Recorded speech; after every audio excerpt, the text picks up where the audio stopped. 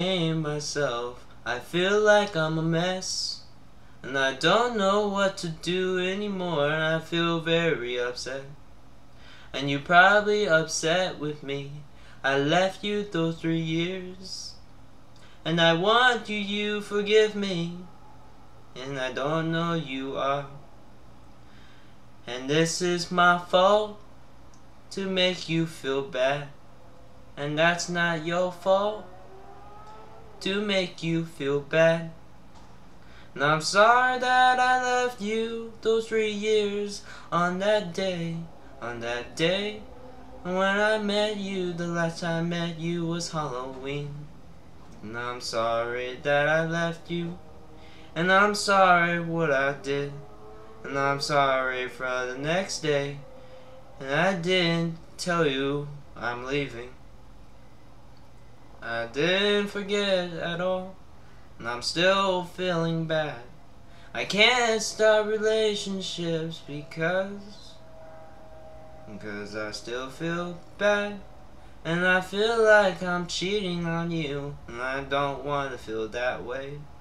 And I don't want to feel that way. And I don't want to cheat on people. And cheating is a bad deed.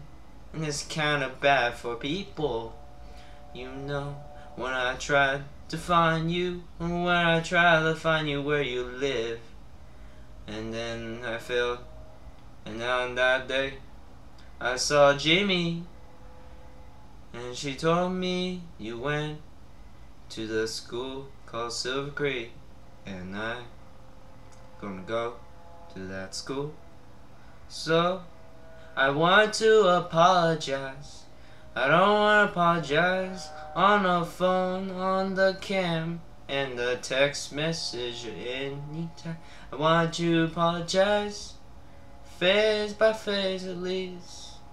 And I want you see me, I'm really truly sorry than being fake. Than being fake. And being fictional, I'm not fictional. I'm being non-fiction. And I want to be true to myself and to you. And I'm sorry that I done that to you. And I don't know you forgive me. I want you forgive me. And I don't know you forgive me, but I'm feeling bad all the time. I want you forgive me, and I'm feeling bad all the time. I hope we meet again. I hope we meet again. I hope we meet again. I hope we meet again. Yeah, yeah.